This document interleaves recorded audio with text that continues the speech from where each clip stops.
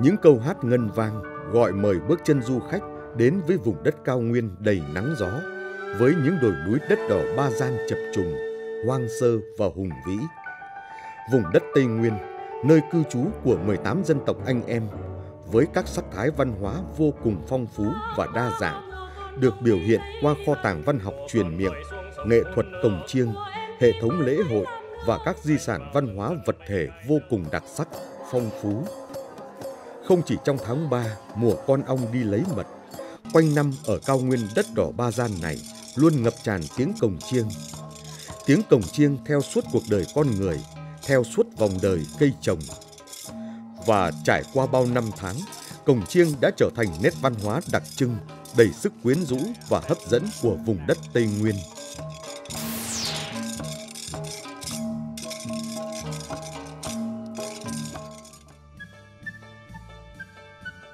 Không gian văn hóa Cổng Chiêng Tây Nguyên được UNESCO công nhận là kiệt tác truyền khẩu và phi vật thể nhân loại vào năm 2005, trải rộng suốt 5 tỉnh Con Tum, Gia Lai, Đắk Lắk, Đắk Nông, Lâm Đồng và chủ nhân của loại hình văn hóa đặc sắc này là cư dân các dân tộc Tây Nguyên Bana, Sê Đăng, Mơ Nông, Cơ Ho, Rơ Măm, Ê Đê, Zrai. Cổng chiêng gắn bó mật thiết với cuộc sống của người Tây Nguyên – là tiếng nói của tâm linh, tâm hồn con người để diễn tả niềm vui, nỗi buồn trong cuộc sống, trong lao động và sinh hoạt hàng ngày của họ.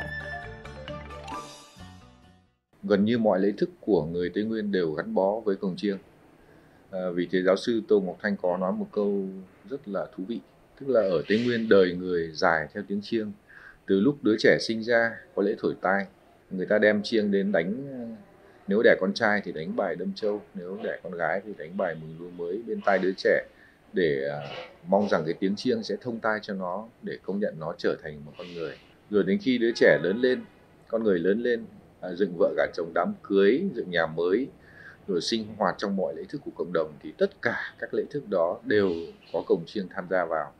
Và khi con người trở về với tổ tiên trở về với cõi vĩnh hằng thì cổng chiêng tiễn đưa con người vào cõi vĩnh hằng nói như thế để thấy được cái lời giáo sư Tô Ngọc Thanh tức là đời người dài theo tiếng chiêng tức là tiếng cổng chiêng đó đi theo suốt vòng nghi lễ đời người gắn bó với mọi lễ thức của cộng đồng. À, từ đó chúng ta sẽ thấy rằng cổng chiêng không bao giờ được coi như một nhạc cụ để giải trí tức là ở trên tây nguyên người ta không bao giờ vô cớ đem bộ cổng chiêng ra để chơi cho vui mà bao giờ nó cũng gắn bó với một lễ thức nào đó. À, chính vì thế người ta mới dùng cái khái niệm gọi là không gian văn hóa cổng chiêng để hàm ý rằng cổng chiêng sinh ra luôn luôn gắn bó với mọi lễ thức, nghi lễ tín ngưỡng cổ xưa của đồng bào Trường Sơn Tây Nguyên. Cái, cái bộ chiêng đâu lại có cái núm đây là chiêng, ừ, còn cái cái bằng đây là chưng. Thì còn gọi uh, tên của nó là bộ chưng chiêng, ừ, là một bộ của nó là 13 cái, à, 8 cái bằng chứ 5 cái núm. Ừ, từ lớn đến nhỏ là 5 cái cái núm này, còn cái, cái loại bằng là 8 cái. Âm vang cổng chiêng Tây Nguyên không chỉ cuốn hút người nghe bởi sự đa dạng độc đáo về các bè trầm bổng, mà còn bởi cổng chiêng chính là cuộc sống của người Tây Nguyên. Nghe cổng chiêng thì thấy được cả không gian săn bắn, không gian làm dãy, không gian lễ hội của người Tây Nguyên. Khi biểu diễn vòng tròn, các nghệ nhân đánh và di chuyển dàn cổng chiêng từ phải qua trái là ngược chiều với thời gian, có ý nghĩa ngược về nguồn cội. Còn về kỹ thuật, Chính cách phối hợp âm thanh của dàn cổng chiêng giữa các chiếc cổng cha mẹ, cổng con, cổng cháu để làm thành thang âm điệu thức đặc biệt. Mỗi dân tộc ở Tây Nguyên sử dụng cổng chiêng theo cách thức riêng để chơi những bản nhạc của riêng dân tộc mình. Những chiếc cổng chiêng của mỗi gia đình là biểu hiện cho tài sản, quyền lực và sự an toàn. Mỗi một tộc người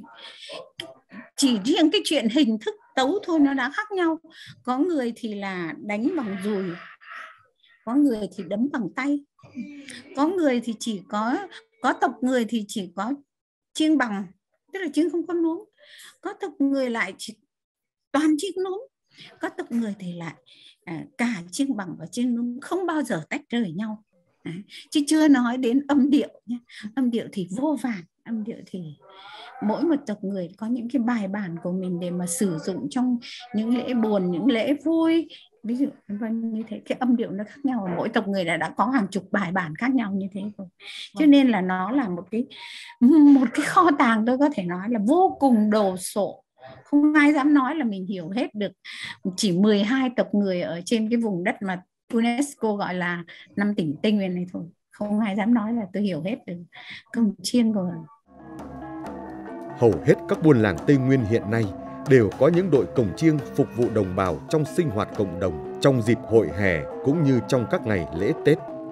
Trước đây, khi các dân tộc thiểu số Tây Nguyên sống gần như biệt lập với thế giới bên ngoài, họ đều thờ đa thần với vô số nghi lễ cúng thần.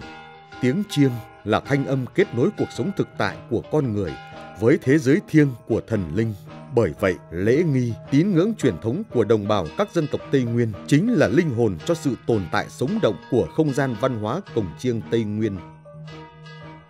Ngày nay, sự du nhập của các tôn giáo thế giới vào cộng đồng các dân tộc thiểu số Tây Nguyên đã đưa đến cho họ những quan niệm mới, thay đổi so với quan niệm truyền thống.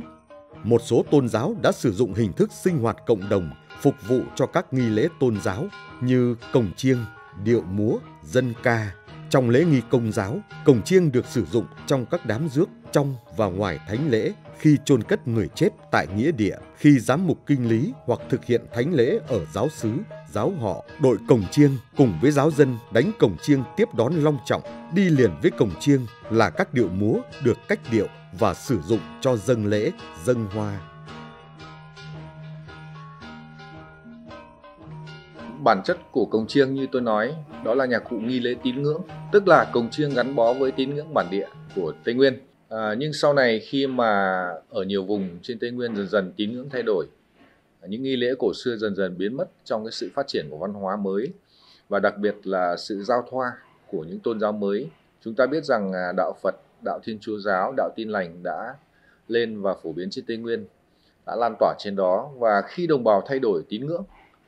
thì đồng thời à, có rất nhiều giá trị cũng bị mai một hoặc là biến mất. Ví dụ như là nếu như đồng bào theo tin lành thì người ta sẽ không chơi cổng chiêng nữa. Nhưng nếu đồng bào theo thiên chúa giáo thì khi đó cổng chiêng được các cha cố vận dụng vào trong các nghi lễ tín ngưỡng của nhà thờ thiên chúa tức là thay vì dùng cổng chiêng trong những nghi lễ tín ngưỡng bản địa cổ truyền thì đồng bào theo thiên chúa giáo lại dùng cổng chiêng để chơi những cái bài thánh ca. Và để chơi những bài thánh ca đó thì cổng chiêng được gò chỉnh lại thang âm theo hệ thống Doremi re mi để chơi lại nhạc thánh ca. À, có lẽ vì thế à, cái tín ngưỡng tôn giáo thay đổi nó dẫn đến sự thay đổi của cồng chiêng. Người ta mới dùng một cái khái niệm là không gian tôn giáo cồng chiêng như chúng ta thấy. Chứ còn thực ra ở góc độ văn hóa cổ truyền thì người ta vẫn chỉ ghi nhận những cái bài chiêng nghi lễ cổ truyền gắn bó với các lễ thức cổ truyền của đồng bào. Thì đó mới đích là một không gian văn hóa cổ xưa của người tây nguyên.